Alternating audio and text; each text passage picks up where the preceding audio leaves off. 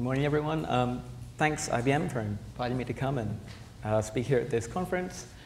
I'm Michael Bremner. I'm from uh, University of Technology Sydney, from the Centre for Quantum Software and Information, and the Australian Research Council Centre for Quantum Computation and Communication Technology.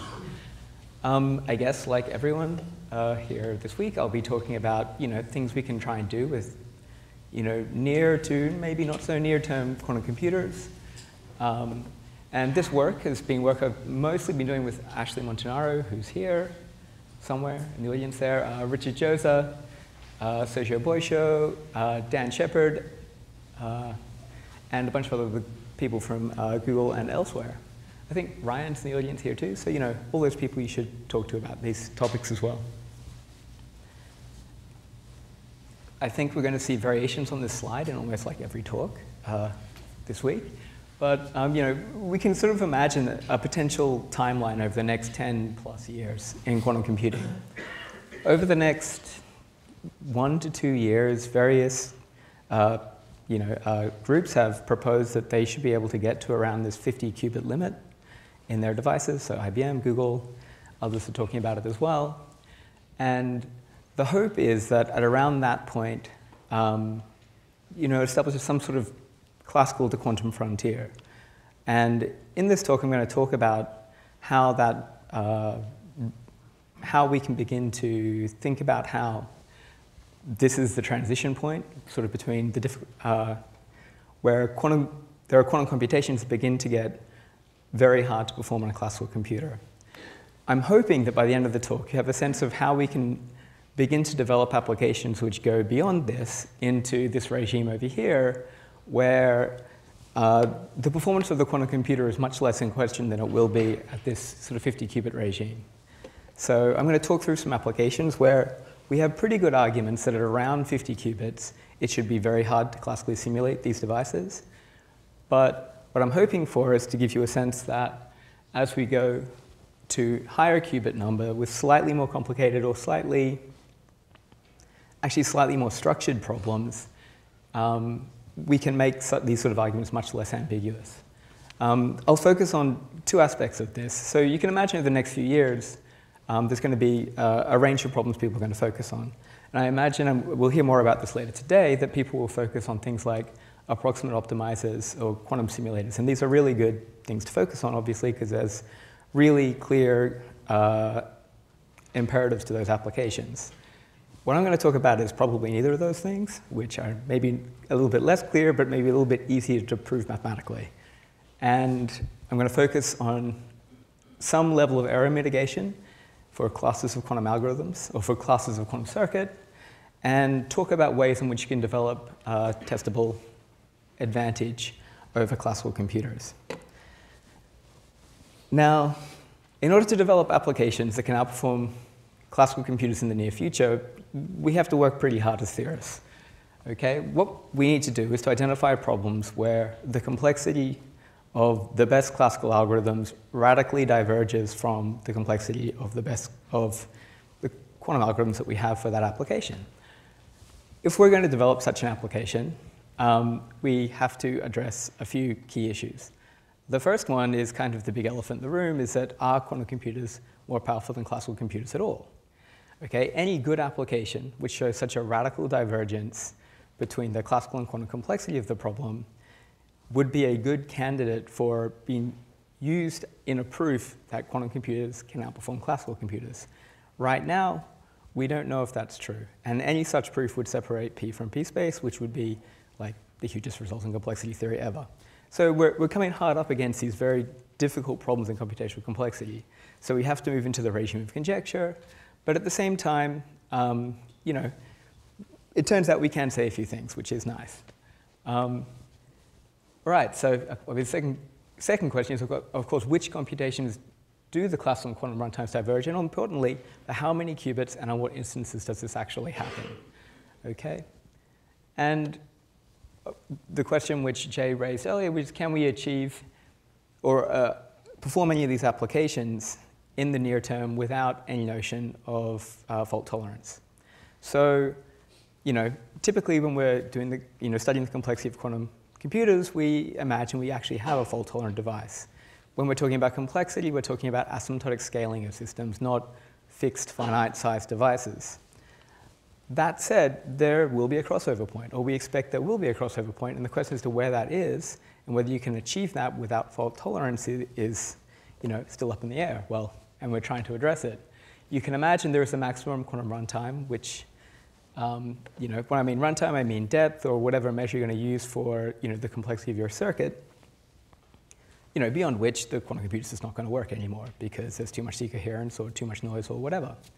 The classical runtime, of course, is going to be way longer than that because we can do a lot with classical computers. The point is that you know, we want to be able to aim for applications which land us there before we hit there and when we're on this side of the curve, of the classical curve. And this is a challenge. So in order to do this, we need to find the hardest quantum computations we can perform with the least number of qubits and the least number of gates.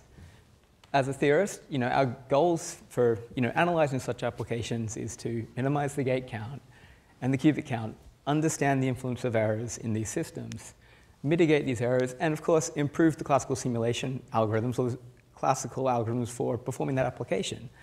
So, you know, these you know, three things here are probably pushing this curve down towards the left, and that final thing there is pushing that curve over towards the right. And we need to understand where these crossing over points really are.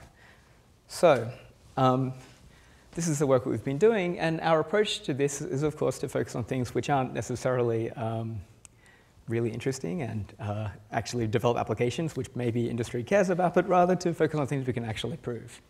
And to do that, we've been studying uh, randomized circuits and the complexity of randomized circuits. Now, at a very high level, the goal of this research program has been to classify the complexity of quantum circuits um, up to reasonable notions of error in quantum circuits um, via studying the complexity of the probability distributions to describe the outputs of quantum circuits.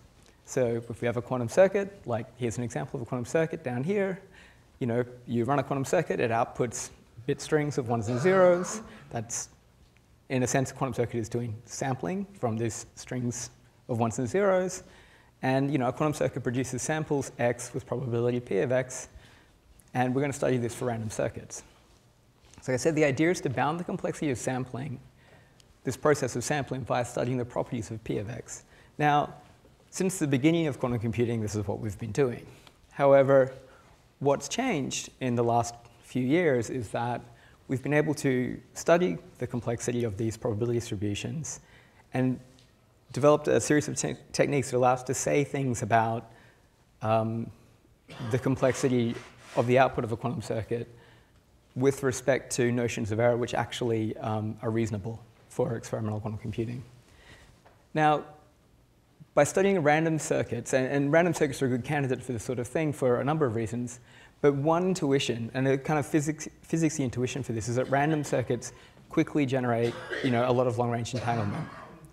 Um, now, of course, you can have non-random circuits that do that as well, but the examples you can think of, say Clifford circuits, things like that, rapidly build up entanglement, but they're also very, very structured and very, very easy to simulate. Randomized circuits don't have as much structure, which makes them a, more of a challenge for classical computers to simulate them. All right, so the big breakthrough in this area was made by Aaronson and Arkhipov when they studied linear optical systems. So the problem they studied was, you know, what is the complexity of sampling from a randomly chosen linear optical system? Um, so, you know, the input is some single photons. The output is, well, you're just going to measure um, uh, in the Fock basis the output of this linear optical circuit. And their argument established a potential advantage over classical computers, which is based you know, around this sampling problem for optical networks. And really importantly, this advantage holds for approximate sampling. Um, so, you know, imagine your, your, your, actual device output samples, you know, from the probability distribution R of x, whereas, you know, the ideal distribution is from P of x what they were able to show, assuming some conjectures, is that um, you can define a reasonable you know, uh, total variation distance or, or, one norm distance between these two distributions. And if a classical computer could, could sample within that distance, then you know, there'd be consequences for computational complexity theory, which are pretty serious. A few years ago, we generalized that argument or improved on it uh, by mapping it in some sense to spin systems. Now, the improvement was essentially that we were able to make the argument a lot simpler, which has been very useful for finding generalizations of this problem. So, and the other sense in which we improved is actually one of the open conjectures we managed to resolve. It just turned out to be a lot easier in spin systems to resolve this problem. Um, the problem that we studied is this problem which has become known as IQP sampling.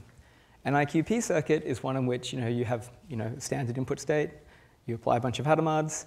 The non-trivial part of the circuit is completely diagonal on Z basis. So in this case, I think up here we have a circuit which is composed of square root of Z gates, so square root of C phase gates, and T gates. And it's randomly chosen circuit from that set of possible circuits. You know, you perform Hadamard's at the end and then you measure. So it has this structure, Hadamard's, diagonal Hadamard's. What we were able to show is that if, if you were to believe, you know, two reasonable conjectures, one about the average case complexity of certain statistical mechanical models, and two, which is that the polynomial hierarchy does not collapse, uh, then classical computers cannot simulate this class of circuits uh, to within constant total variation distance, generally. Um, okay, so I guess the most talked about generalization of this problem is what I'm going to call the Google proposal throughout this talk. In that proposal, we considered studying the problem of uh, what is the complexity of sampling from randomized circuits. Specifically, uh, in this paper, we talked about the issue of you know, considering a 7 by 7 lattice of qubits upon which we perform a series of well, random, randomly chosen gates, basically. Um, the actual sequence is uh, somewhat as like you perform Hadamard gates and everything to create a big superposition state.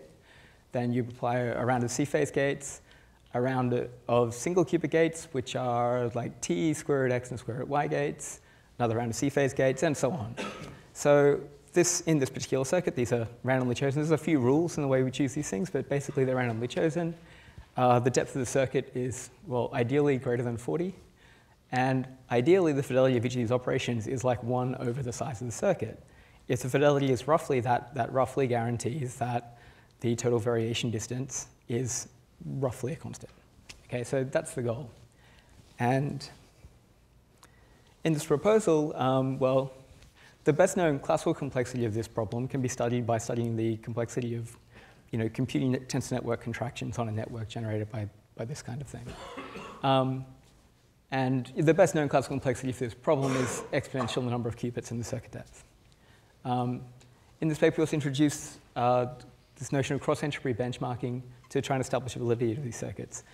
Now, this is a big issue. Establishing the validity of these randomized circuits is going to be a thing I'll talk about a bit more later in this talk, but of course, these are very complex circuits for which we're sampling, take, looking at randomized outputs for, uh, which will occur with probabilities which we can't actually compute easily because that's actually the thing which is defined to be like the hard thing in this circuit.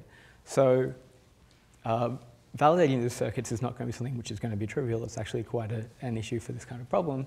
Um, the cross-entropy benchmarking works by basically doing heavy numerical testing on smaller size instances of these problems and then doing um, basically an inference test to make sure that the larger distribution is you know, commensurate with what we'd expect on a smaller distribution. Um, in this paper, there's also heavy numerical, numerical testing to establish, well, also the levels of randomness in the circuit, which is important for the complexity theoretic argument. Um, for the benchmarking, and also to understand the point at which these circuits really, uh, when the classical problem begins to get really hard for this, for this class of circuits. Now, I'm going to take a step back a bit and try and explain the theory behind some of this. Um, I'm probably going to aim this at a level which is too high for experimentalists and too low for theorists, so everyone's going to be disappointed. So sorry about that in advance. But you know, we're going to begin from the beginning. What is a quantum computer? Um, so I find it helpful actually just to have this slide up there so people are all thinking on the same page about terminology. Of course, everyone here knows what a quantum computer is, but you know, a quantum computer is a simple thing. It's input, is a classically easy to describe unitary, um, and you have an input state which is just like the old zero state, for example. The output is going to be just strings of bits, um, with, which you know, are output by the ideal quantum circuit with probability p of x, you know, given by the usual uh, probability rule. Um, Normally, we'll consider entangling gates to be able to be active between any pair of qubits. I mean, that's the thing you can do in the lab, right? Like, that's not a big deal. Um, gates are drawn from a finite gate set.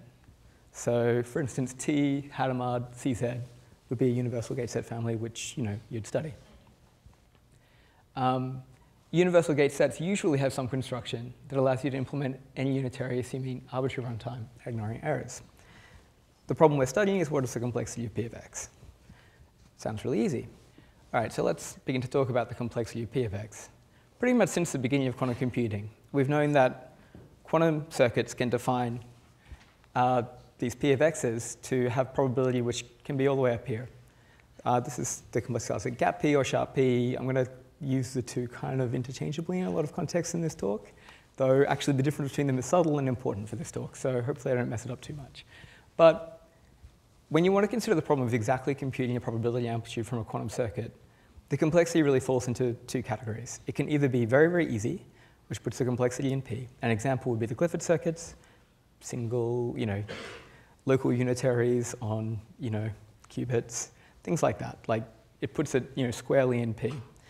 The other option is basically it ends up being sharp P hard or, or gap P complete, this problem. Importantly, despite the fact that quantum circuits can define really hard complexities. So I should say sharp P and gap P is like considered to be much more powerful than P. P is all the way down here. We think bounded error quantum computing lives down here. NP is over here. QMA, which is you know the quantum generalization of NP, you know, is down here. We expect sharp P and gap P to be sort of a superset of these things. Um, and, but really importantly, while these things emerge in quantum circuits, we don't believe that quantum circuits can actually compute these such functions with you know, very high accuracy. In fact, you can almost take them as a definition that the, uh, a quantum circuit can produce you know, polynomial estimates of such functions. Um, that's certainly the case for BQP. That's basically the definition of BQP. The reason for that is because the only way that we can compute P of x given uh, unitary is basically by repeated measurement, right? So you know you get samples out of your circuit, and we're going to have to somehow infer what the probability is with which samples occur.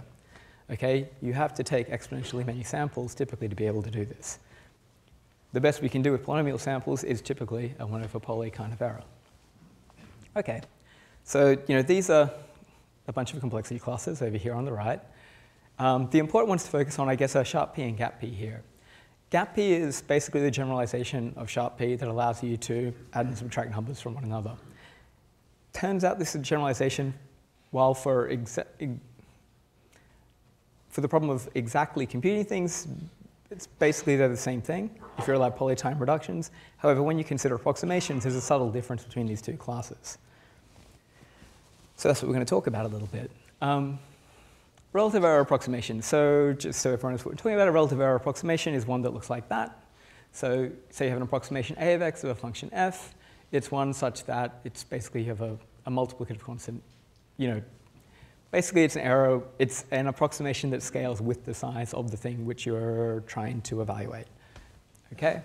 So it turns out for quantum circuits that there are classes of you know functions defined by quantum circuit amplitudes that stay gap P hard even under relative error approximation.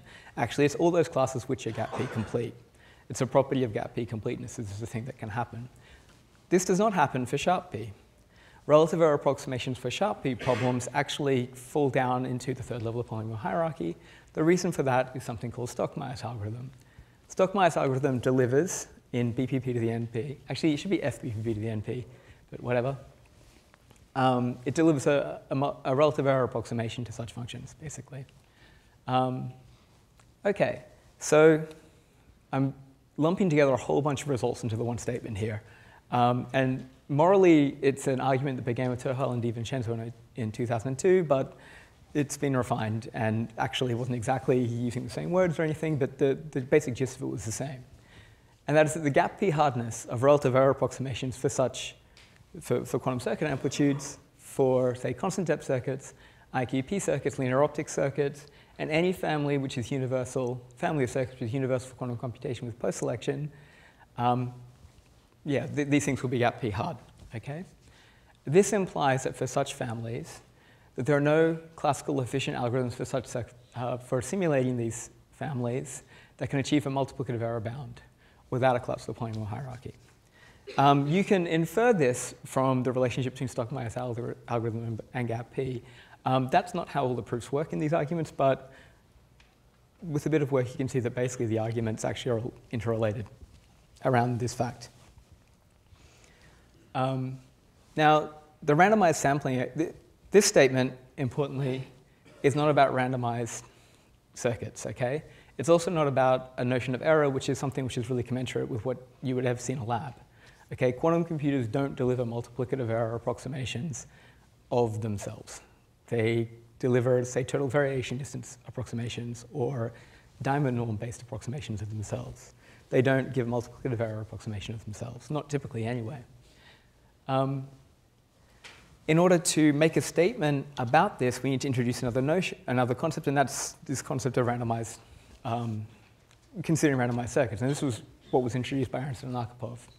So the quantum random circuit sampling argument essentially says that if there exists sufficiently accurate, efficient classical samplers for the outputs from sufficiently random families of unitaries, Stockmeyer's algorithm can be used to approximate these sort of functions, which could be gap p hard, and this would cause a collapse of the polynomial hierarchy. Like I said, sufficiently accurate in this case means with constant one norm distance or constant total variation distance. Roughly, what the argument is saying is that, say you have you know, one of these hard output probabilities of a quantum circuit, or you have a family which defines such a hard one, then there's going to be a set, well, you, you find a set which has the property where, you know, it, through a random choice over that family, you're going to get this property where the output probabilities are not completely uniform, but they're going to be sort of varying just around uniform. They're going to be still quite small, but there's going to be some variation. So it's not exactly uniform. Technically, people say that this output probability distribution is anti-concentrate. Um, the other property is that we want a relatively large set of these output probabilities to have the property that they're sharp p hard. And we're going to argue this sort of by randomization. So if both of these sets are sort of large enough, so on average, you, if you randomly choose from this set, you get this anti-concentration property, and you get the sharp p-hardness property at the same time. Um, you know, we'll get an overlap here, and if there is overlap, then the average case complexity is, well, we'll say the average case complexity is hard as the worst case complexity. This implies the overlap. Then if that's true, then quantum computers are hard to simulate, and these are families of things which are definitely hard to simulate on classical computers, assuming no collapse of polynomial hierarchy. What we can actually prove looks like this at the moment. So we can identify families which have relative error, which have these have the sharp, sharp p hardness property for the output probabilities. We can also identify them the same family families anti-concentrate, but all we can do is conjecture can conjecture that uh, the average case complexity and the worst case complexity actually line up. So that th there's a separation here is, is still a big problem in this area. And it's unlikely to be solved easily. Um, okay, so just to get a bit more concrete, let's talk about an actual, an actual instance of what these sort of theorems look like. So let's return back to this IQP sampling problem I, I mentioned before.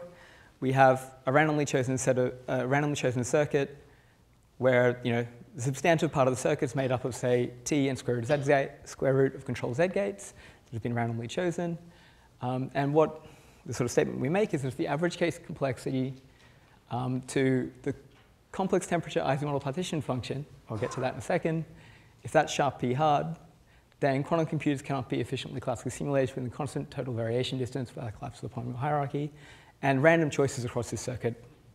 If you choose enough of these random circuits, you'll hit hard instances, basically.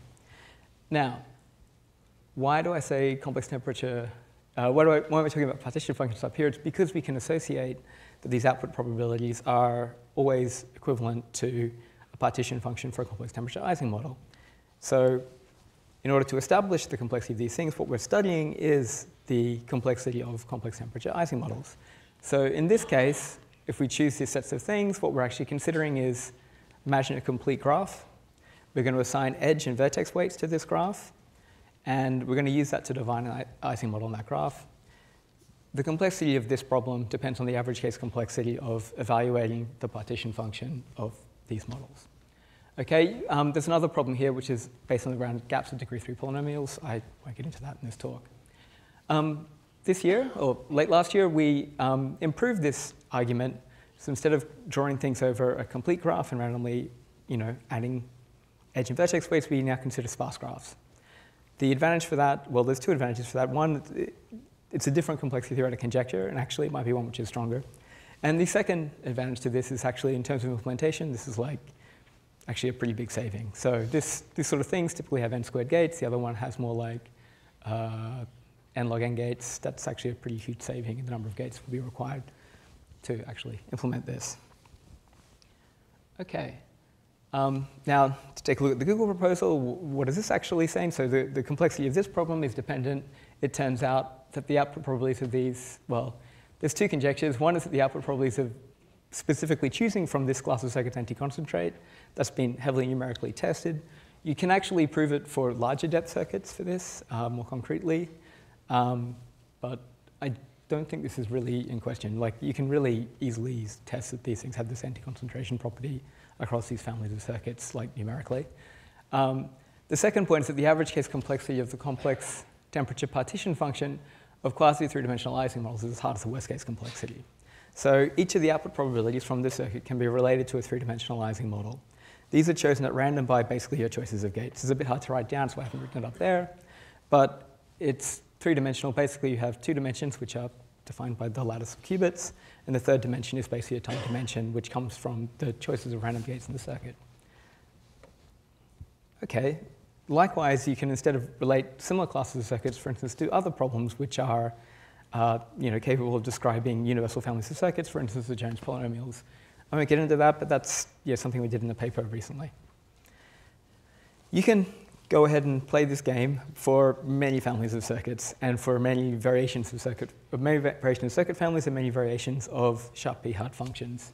Um, in the last couple of years, people have really begun to populate this table based around studying the anti-concentration properties of families of circuits, so these randomization properties, and also like the complexity of uh, output probabilities of these circuits.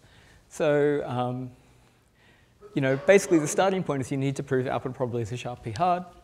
And then what you want to do is to go away and prove that your family of circuits have these sufficient randomization properties of a certain kind. Um, a few really noteworthy examples, which I'll talk a little bit more about, is these cases where we have, uh, say, constant depth circuits, um, or, uh, yeah, like I said, the, the Google case is the case we have randomized circuits where basically the output probability, probability distributions are chaotic or look like Porter-Thomas distributions. Okay. Um, really importantly, um, none of these models have made, really made any progress on the problem of sharp P, the, the average case complexity of the sharp P hardness of these problems up to relative error approximations. And we know from uh, Scott Aaronson's paper last year with Li Chen is that any proof of this is likely to require non-relativizing techniques, which pretty much firmly says that this is actually going to be quite a hard problem. So progress towards relating these worst case complexity conjectures to average case complexity, sorry, progress on uh, mapping the worst case complexity of a problem to the average case complexity of these problems over these random choices of circuits is likely to be a difficult problem to resolve. Okay, so I'm going to sort of change tack a little bit now and try and talk a little bit about implementation and how these different notions of um, space and time trade off for these sort of problems. Okay, so I mentioned earlier that um, we showed recently that um, you can run these randomized sampling arguments for what we call sparse IQP circuits. Um, so sparse IQP circuits are those which are defined by sparsely chosen um, Ising models. Or, yeah, well, basically they're defined by sparsely chosen Ising models. Well, the first thing we had to do was to prove that such circuits have this anti-concentration property. That's that they're sufficiently random. So that's something you can do by um, convincing Ashley to compute a lot of you know, roots of unity or something. And so he did that. And we proved that it anti-concentrates. Um, and then that argument established, because we already knew that you had this uh, sharp p hardness property, or this relative error approximation to sharp p hard property for this family of circuits. You can combine these things to get this argument that they're hard to classically simulate, assuming the average and worst case complexity you know, line up. Now, importantly, um, for this, this construction has, it turns out, has you know, n log n two qubit gates. That's just what pops out of this argument. Um, you can, okay, so they're, they're, defined in terms of potentially long-range gates um, with all commuting interactions. Okay, so what we're going to consider instead is how, what that looks like if you're going to implement that with a universal, you know, uh, with a universal set of um, gates. Well, what you can do is you can use an edge coloring algorithm to decompose the circuit into order log n partitions of simultaneous gates. And in each of each one of these partitions, you're doing about order n gates simultaneously, which can be performed, basically. Then sort of by running sort of standard arguments on sorting networks from the classical theory of sorting networks, each of these partitions can be implemented with depth square root n in a universal nearest neighbor architecture.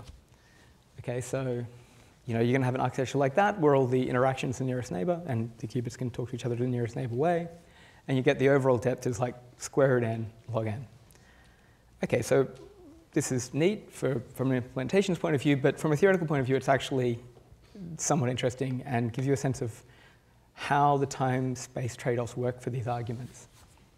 All right, so if you were to take a sort of standard tensor network argument, standard tensor network algorithm for computing the output probabilities of these circuits, you can compute these probabilities in time, which is the, the minimum of sort of order 2 to the n or order 2 to the little d times big D, where little d is the depth of the circuit and big D is the diameter of the circuit.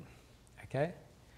Um, now, if there were a sub square root n depth argument or circuit for implementing this kind of, particularly this class of circuits, then it would imply that via these sort of algorithms that there is a uh, sub-exponential time algorithm for computing the output probability of these circuits.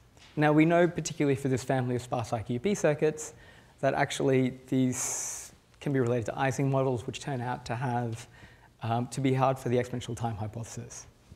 Okay, which means that what that means is that if we assume that there are any problems in NP that take exponential time, then these do too. Basically, there are instances where these do too. Now, if there were sub-square root n um, depth circuits for implementing these models, then you would have a sub-exponential time algorithm for computing these, uh, these hard functions. Hence, this bound is essentially optimal for IQP circuits. That's the lowest depth circuit you can have that will implement this sort of thing. Okay? Um, all right. Now, you can also consider implementing these models via measurement-based quantum computing or some other technique like that. So we can start considering, say, constant depth circuits for running these quantum simulation algorithms. And there's been a series of papers which have done that. Um, one way of considering this is to say, take the Google proposal and consider it as being as this random family of circuits is emerging from randomized measurements on, say, something like a cluster state, and there'll be some subset of circuits or some subset of qubits for which these circuits begin to appear at random. Now, um, the complexity of the overall system is then basically bounded by the complexity of this subsystem. Okay? Now, but the exponential time hypothesis basically is bounding now our capacity to uh, um, run a simulation on these systems. What I'm trying to say is that basically, if you move to a 2D nearest neighbor architecture, say with constant depth, you're going to have a polynomial increase in the number of qubits you're going to need in order to be able to solve in, order to be able to solve the same sort of classes of problems with the same sort of complexity. So we're always going to have this trade-off between the depth of the circuit and the you know, um, size of the system for these sort of problems. Yeah, so for instance, below the square root in depth, you begin to trade qubits versus gates. So yeah, if you go to constant depth, you have a polynomial increase in the number of qubits for these classes of problems. So this raises the question again, like where is this quantum frontier, right? Where is this difference between classical and quantum computing?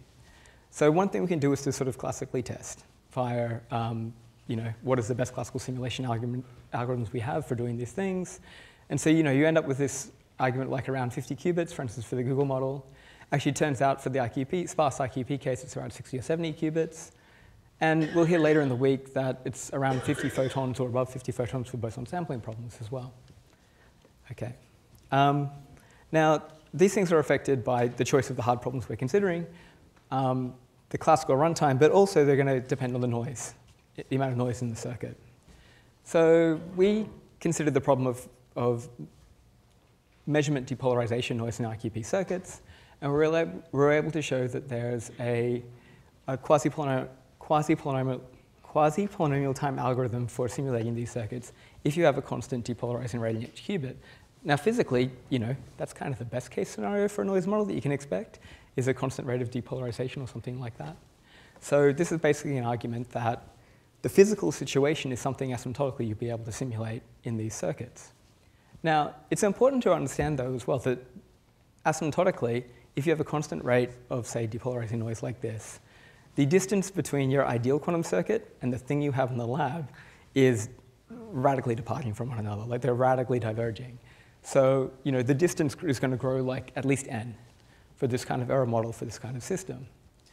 In order to get inside this regime where you can argue you have a constant total variation distance separation between these circuits, you need to sort of set a threshold level, which says, you know, above this number of qubits, it doesn't make sense to be considering doing this kind of thing you know, without something like fault tolerance. You know, and that threshold level will be something like, you know, the inverse of the number of qubits or the circuit size or something like the number of elements of things which could go wrong in your circuit. Um, importantly, actually, so this, this argument can actually be extended to the Google model as well. Ashley is going to talk a bit more about that, I think, later on Friday, so I won't go into the details of that algorithm too much. Oh yeah, and I've got an advertisement there. Now, what I do want to talk about, though, is that under this noise model, it turns out in these IQP circuits that you can have a semi-classical notion of error correction, which completely corrects this class of noise, this family of noise. Uh, ideas um, basically came from a representation you can have for these IQP circuits, which is closely related to uh, binary linear codes. Now, let me just try and talk you through that a little bit. Imagine you have, you know, any of these sort of IQP circuits. You can write it down write them down. Um, you can write down a, a linear binary matrix, um, so your matrix of ones and zeros, which describes basically where the gates are in your circuit. Okay, one thing you can do is assume you basically have the, well, in this case, I don't have the same theta, but you can basically assign the same theta for, to every circuit. And then what you're going to do is say, actually, in the case of these circuits, that theta would be pi over 8. Okay, so what this matrix CJK is, is a matrix of ones and zeros.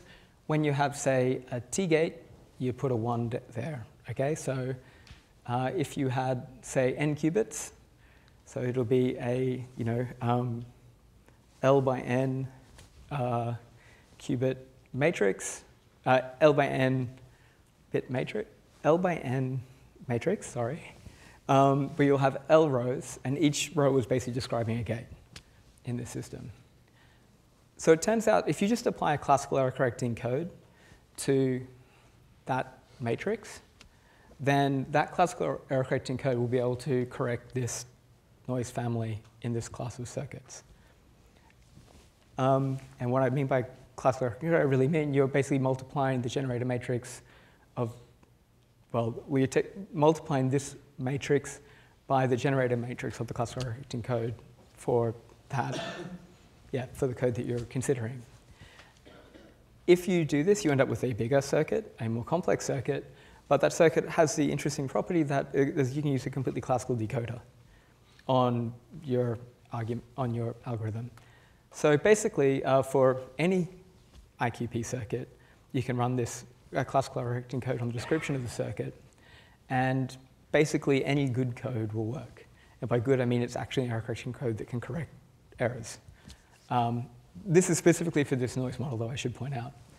Um, the reason for this is in part because basically, if you have depolarizing at the end of one of these circuits, it basically looks like bit flip errors on, on the sample space of these circuits. Okay? So those bit flip errors, in some sense, are basically just a classical error on the system. Um, like I said, any good code will work. Uh, if you know this unitary will be, um, well, say if you use the bitflip code, yeah, you, you pick up a log n factor. Um, Shannon's noiseless coding theorem implies there's a constant overhead. Could be found, but that's for like a randomized coding thing, which may not be so physical to implement. Um, like I said, DM is potentially much more complicated than D. uh, because actually this encoding process might involve creating more complicated gates. However, like so you might go for a two qubit gate thing to a thing which allows for n qubit gates, but like I said, the overhead's not going to be dramatic. Okay, now this brings me to this problem of verification. So I said earlier, for these randomized circuit sampling arguments, one of the issues we're going to have is actually verifying that our randomized circuit sampler is producing the thing it's claimed to be producing.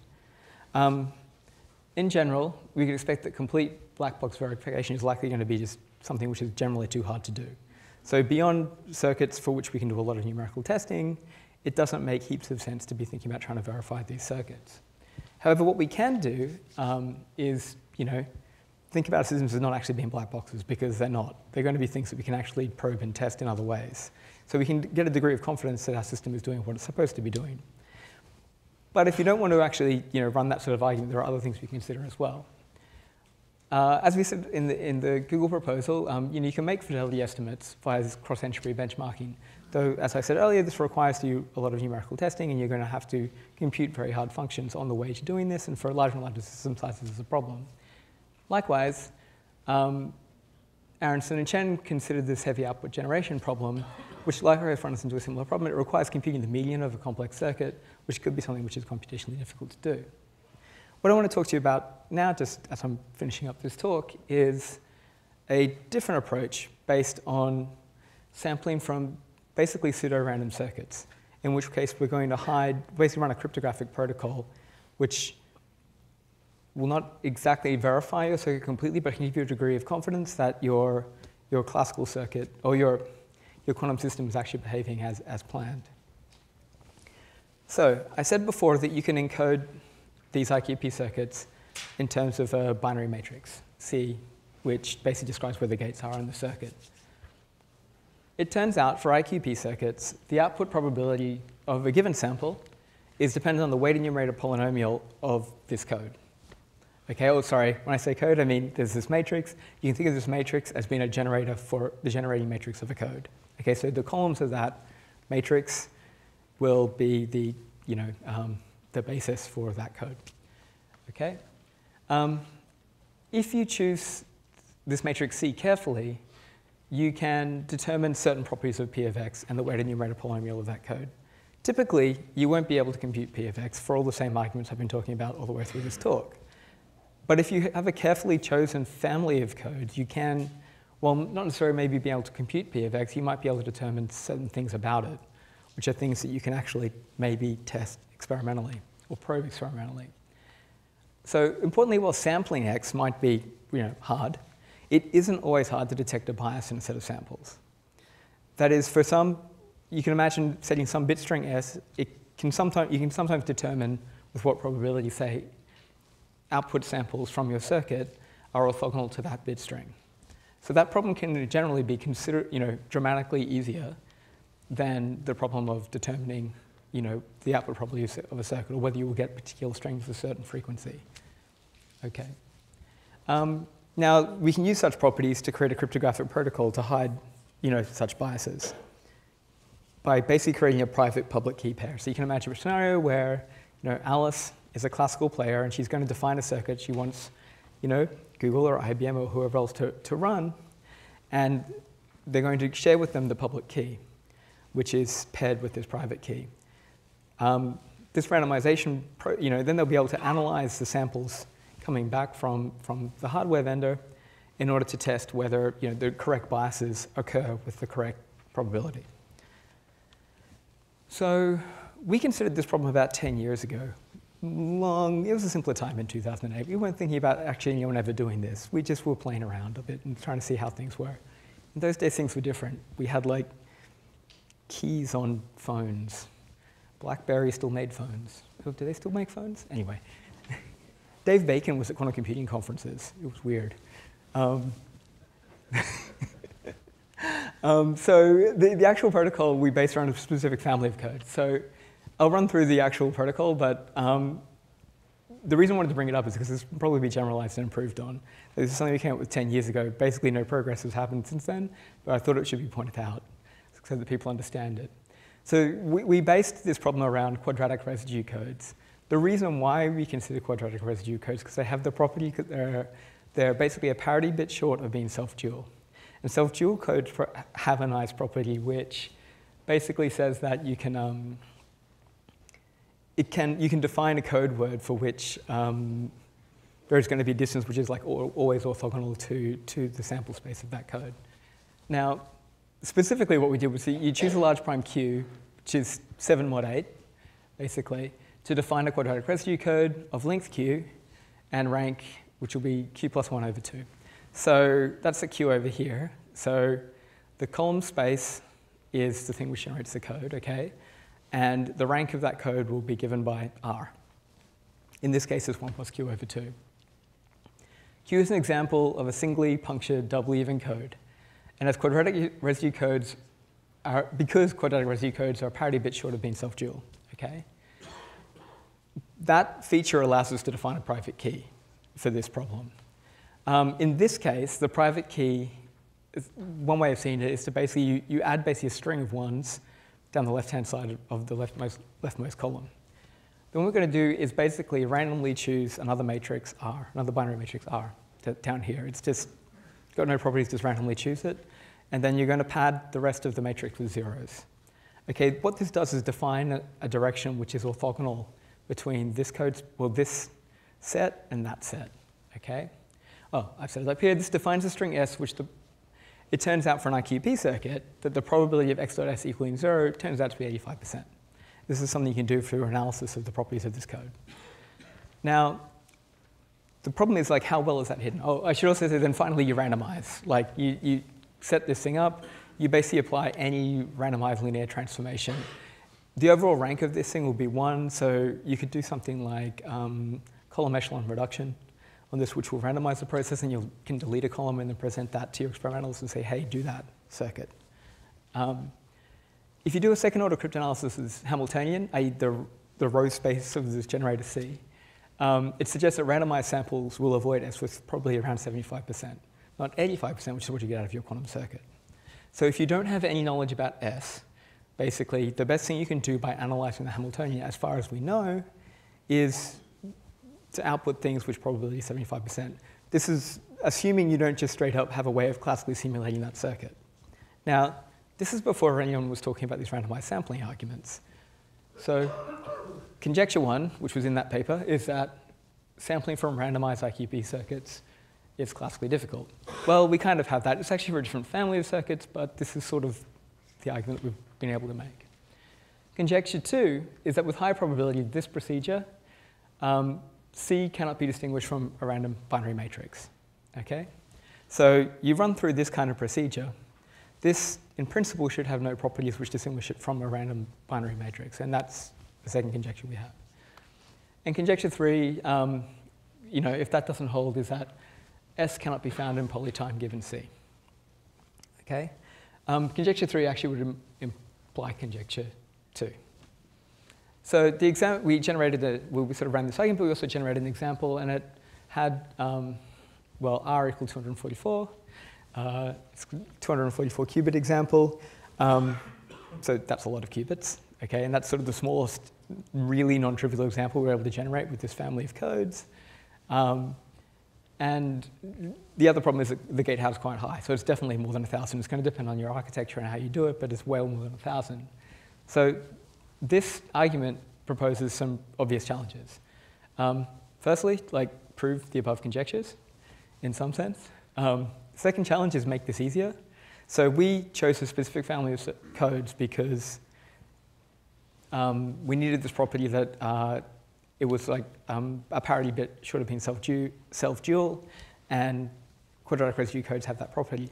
However, you could consider other families of error-correcting codes, for instance, for this class of problem. Um, this is one obvious thing that people can actually look at. There's a lot of different self-dual codes out there. Um, and yeah, like I said, find new examples and make this easier. And if you want to see the details of that, go back and look at this paper from, on the arXiv from 2008. So it's kind of a million years ago. All right, so this brings me back to the beginning, which is at the end. And hopefully now you've got a bit of a sense of um, how we can go from uh, this regime, where we have this crossover point between classical and quantum computation, where we can begin to define problems which are really hard for classical computers on around 50 qubits, but we can begin to move up into this regime where things get much less, much less ambiguous. We'll have, by introducing things like error mitigation and validation of the problems we're considering. In both cases, this problem requires taking randomized problems and beginning to add more structure to these, to these systems via the use of, say, error correcting codes or, the, in that final example, via cryptographic you know, procedure. Also happens to be related to you know, error correcting codes. All right, um, this leaves a bunch of open questions. And I guess for me, one of the biggest open questions out there in this whole space is you know, can we use these techniques for getting bounds on the complexity of quantum circuits to prove advantage over classical algorithms for more structured problems? So I gave examples roughly there in terms of a cryptographic problem.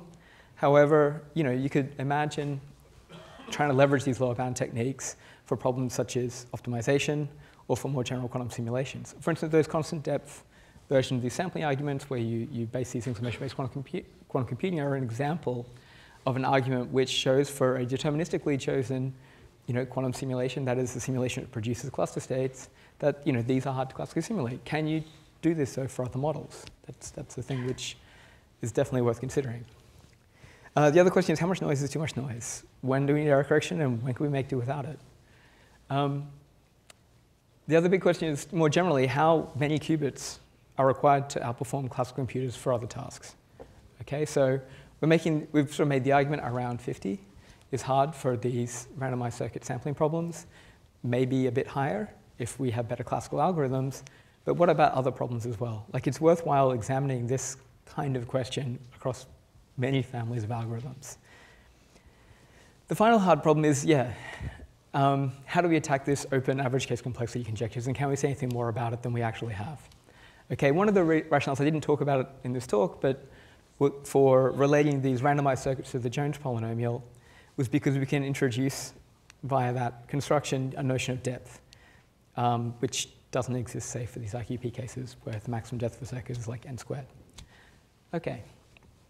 I think I might end there, so thank you very much.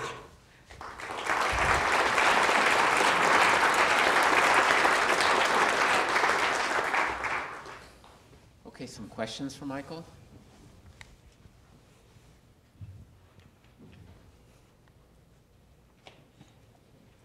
I've got a question for you. Are, are you using anti-concentration in the sense of um, chaos and scrambling, or do you mean something distinct? I didn't catch your definition. Yeah, so it's the same, same, same thing, yeah. Basically, yeah. So I was trying to understand the, um, the classical complexity that you were describing for the, hi, here, hi, okay. okay. yeah, for, for the Google proposal yeah. Um, in terms of the analysis of the tensor network. And um, so was the classical complexity you're quoting the worst case complexity? And the, the reason why I bring this up is if you use random circuits, um, you know, you create a random tensor network. And, and random tensor networks are, in a certain sense, simpler than typical than special tensor networks because you know they have a, a uh, injectivity property, which means that they, that whether or not they're contractible is dependent only on the spectral gap of their parent Hamiltonian. So there's, they are in some ways more easily characterized than the worst case tensor networks. So um, I'm wondering if you thought about the special things which happen with random tensor networks. In I mean, yeah, I mean, there's, there's certain things you can compute, right, to bound it. So generally, it'll still be exponentially hard to compute, we think anyway, randomize. So yeah, I mean, the worst case, uh, but are you then making a statement about the average properties of yeah. the spectral gap of right. the parent Hamiltonian? Well, I wouldn't put it that way, but what I would say is that we're making a statement about the average case properties, but we're conjecturing that. That's the point which is being conjectured. Okay. okay so, so the conjecture is that for this classes of circuits, that the average case complexity of the a relative error approximation, so a good heuristic for those sort of problems, is still going to be sharply hard asymptotically. Okay, so, so the classical cost that you're putting down is a conjectured cost? Uh, yeah, totally. Oh, okay. Oh, yeah, yeah, like absolutely. Like, so that lower bound is definitely conjectured. I see. Okay. Um, in that case, so what's interesting about, say, that case, if you go to higher depth for those classes of problems, it's then in some sense, a conjecture about. You could also make it a conjecture about, say, the average case complexity of computing these output probabilities of typical quantum circuits. Um, and d- that's pretty unresolved, right? We actually don't have a good answer to that problem. Any more questions? If not, let's thank Michael.